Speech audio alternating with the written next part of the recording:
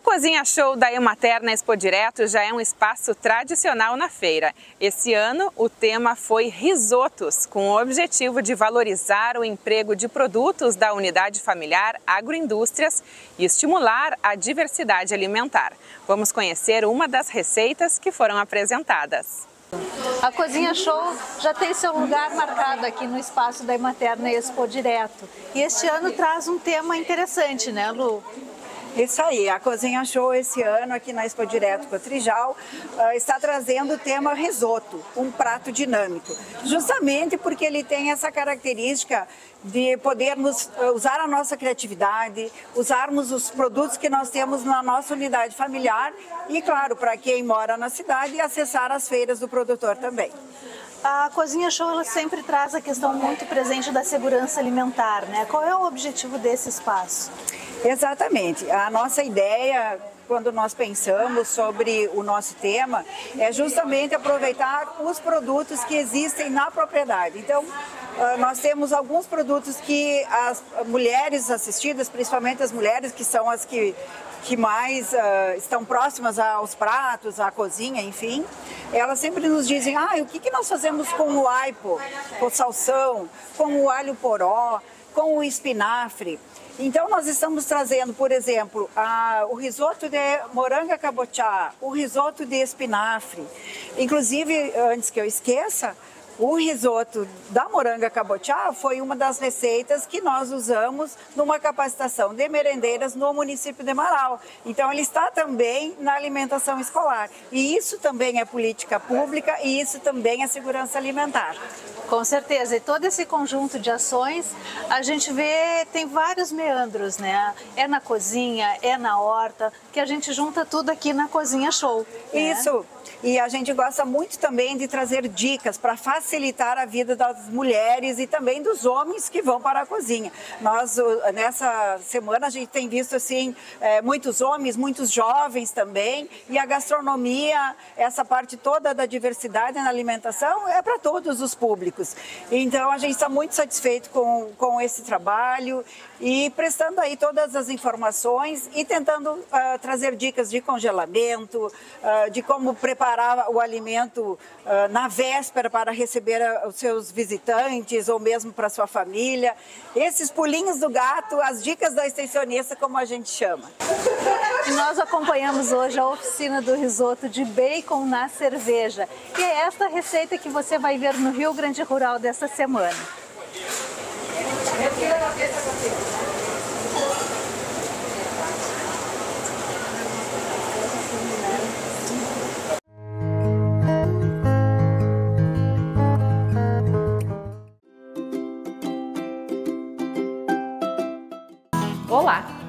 Hoje eu vou ensinar para vocês a receita de risoto de bacon com cerveja. Vamos aos ingredientes.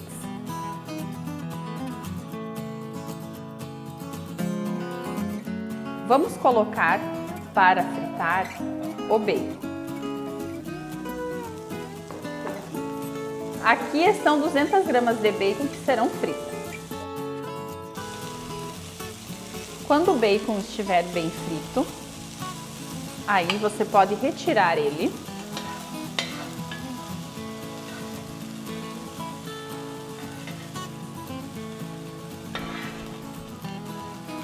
E nessa gordura que ficou aqui na frigideira, nós vamos colocar os demais ingredientes. Agora, nós vamos colocar um fio de azeite de oliva, a cebola, é uma cebola picadinha,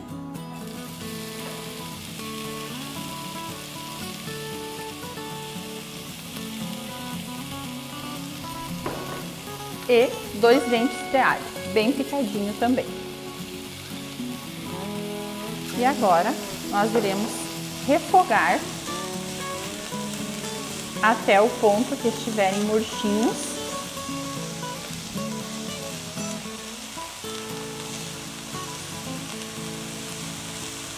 Mexendo sempre para que ele não doure demais e também não venha a queimar.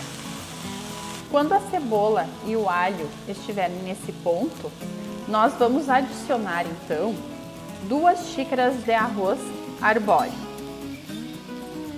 E aí, novamente, você precisa ficar mexendo. Na nossa receita, nós estamos utilizando o arroz arbóreo, porém, você pode utilizar qualquer outro tipo de arroz que tiver disponível. O arbóreo tem mais amido e dará maior cremosidade ao nosso risoto. Quando o arroz estiver nesse ponto, está no momento de colocar a cerveja. Aqui nós estaremos utilizando 300 ml de cerveja.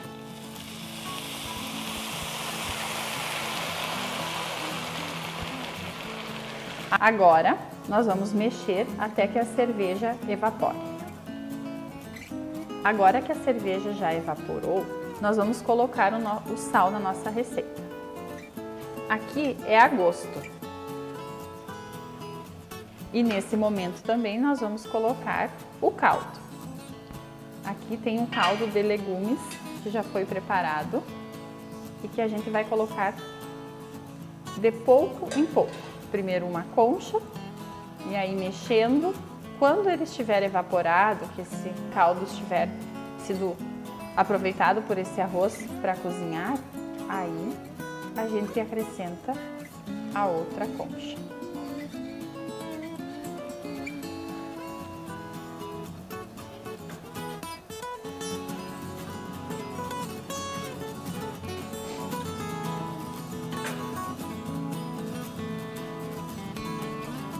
Né? Aqui você pode perceber que ele já está secando então a gente vem e acrescenta mais uma concha de caldo.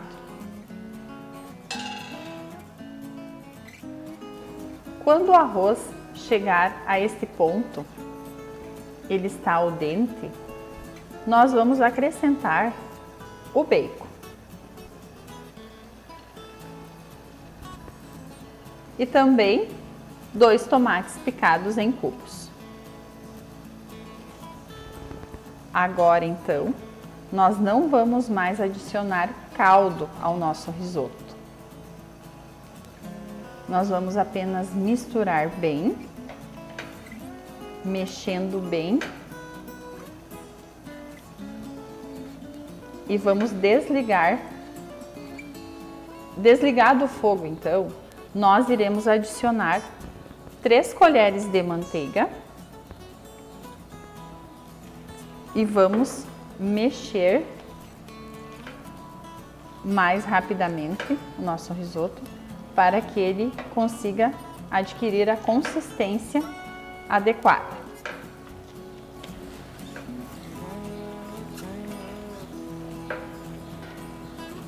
E também vamos colocar aqui, aqui meia xícara de queijo parmesão ralado.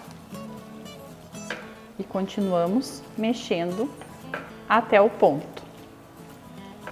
Agora já está bem dissolvido e pode perceber que o nosso risoto adquiriu consistência e está cremoso.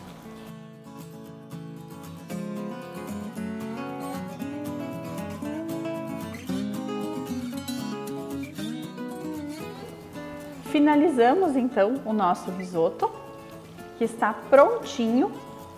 E essa porção ela pode servir até quatro pessoas.